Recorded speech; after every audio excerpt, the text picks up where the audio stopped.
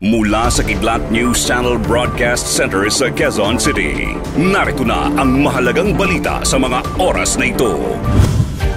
Kidlat News Updates. Buong Pilipinas ngayon ay nakaabang. Halina't samahan kami upang alamin ang mga balitang ating kailangan. Ako po si Cesar Sorian, kasama ang buong puwersa ng Kidlat News Channel para ihatid ang mga nangungunang balita sa buong kapuluan.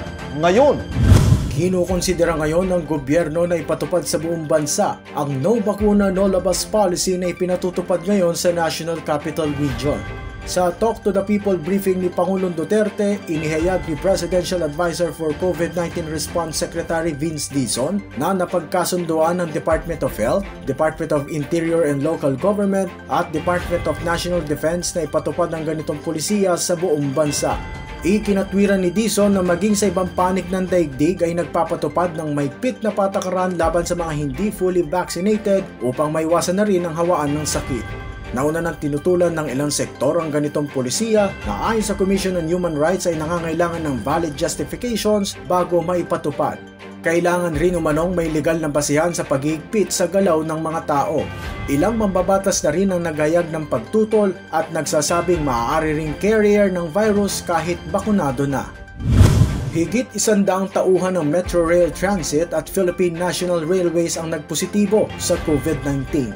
Iniayag ito ng Department of Transportation matapos isa ilalim sa antigen test ang mahigit 600 MRT personnel at nasa 300 PNR personnel.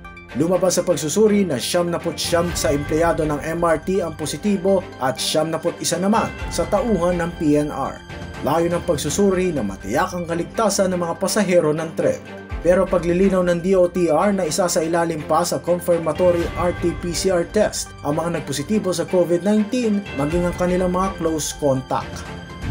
Ibinasura ng Commission on Elections ang isa pang petisyon na kumukwestiyon sa kandidatura ni dating Senator Ferdinand Bongbong Marcos. Sinabi ni COMELEC spokesperson James Jimenez na dinismiss ng poll body ang inihahing petisyon ni Independent Presidential Aspirant Tiburcio Marcos. Sa petisyon ni Marcos, kinukwestiyon nito ang tunay na pagkatao ng dating senador. Nakasaad sa kanyang petisyon na peke ang dating senador dahil ang totoong Marcos Jr. ay namatay noong pang 1975. Nauna na ring ibinasura ng COMELEC ang petisyon na inihain ng isang Danilo Lihayhay na humihiling na ikansila ang Certificate of Candidacy ni Bongbong Marcos. Sa ngayon ay may limang petisyon ang nakahain sa COMELEC laban sa kandidatura ni Marcos Jr. Para sa Kidlat News Update, AJ Ignacio, nag-uulat. at inyo pong natungayan ang mga headlines sa nakalipas na mga oras. Manatiling nakatutok para sa mga susunod na updates at breaking news. Ako po si Cesar Soriano, kasama nyo sa bawat pagputok ng balita.